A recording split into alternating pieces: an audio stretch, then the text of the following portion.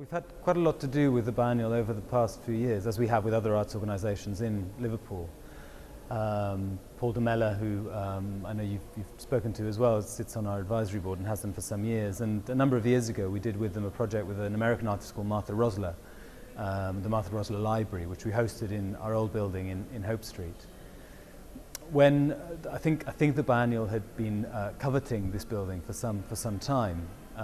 And when they uh, discovered that we uh, purchased it, they, they approached us about the possibility of staging the biennial exhibition here. Um, and immediately that seemed a really uh, exciting, exciting project. I think, you know, to a great extent, we've, the art school over the last few years has developed very much uh, in, in uh, has developed very much a kind of a, a way of thinking about teaching art and design that is not to do with being removed, but very much embedded within uh, the industries, the companies, the organizations that produce art in the, in, in the real world. And the Biennial has been a very uh, strong and significant partner for us over the years. So it was very, um, it, it, seemed a very exciting thing to do to cement that relationship, if you like, through uh, uh co-hosting the, you know, the Biennial this year.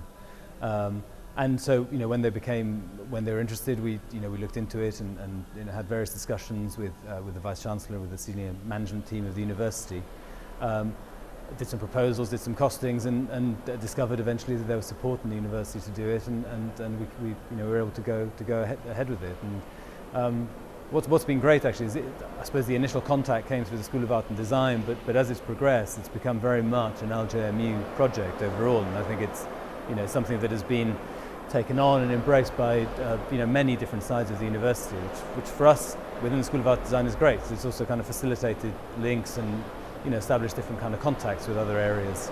In, in economic terms, you know, the, the evaluation every year demonstrates the numbers of people that come through, and, and, and that's incredibly impressive. And, and, you know, those people, of course, also you know, spend money in the city. So I think economically it makes a very palpable difference. Um, I suppose in some ways i have I've always been a bit more interested in, in the difference that it makes in terms of the city's identity. It is you know, the biennial of, of, of, of contemporary art in the UK. Um, it's a biennial that's recognised internationally as being one of the, you know, certainly within the, the top kind of, you know, four or five international biennials. And so, you know, wherever you, you go in the world, Liverpool's a famous city anyway, but it's, uh, it's, it's, it's, it's interesting that it also becomes a famous city for its, its, its, art, its art offer.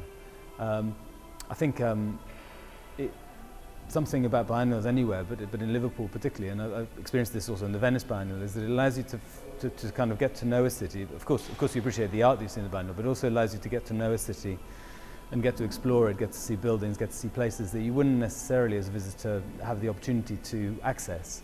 Um, and I think, I think that that's a very, very strong kind of element of the biennial in, in Liverpool. I think it's, it's you know, so I suppose there's two things. One, it's, it's the way in which it puts it on an international art map, an international cultural map, Um, but also what it kind of what it does for people who live here, and, in, in terms of identifying with a city that, that, it, that is that is very strong in terms of in terms of arts um, and, uh, and and culture. I mean, it's not it's not exactly the same as an Olympic Games, of course, but, but, but there is something of that uh, in, in, in the biennial festival. I think what art does for education as a subject, certainly within school and then university, is that it, it, it's a subject that is that is very much about, people often talk about art and creativity, but, but I, don't, I don't think art has a stranglehold on creat creativity. I think engineers are creative, scientists are creative, lots of people are creative. Perhaps what art does facilitate more than, more than many other subjects is, is a sense of reflection. Um, and, um, and I think that, that that's very, very important in, in terms of what it does for education, in terms of what it might do for a city. I think a reflective city, a city that has the capacity and the will uh, and the wherewithal to reflect upon itself and somehow represent itself, which is what art does, um, is a city that is genuine, a city that is authentic, and a city that's prepared to uh, somehow look at itself. Um, and I think that kind of that, that sort of capacity for reflection is, is, is, is very significantly what art brings.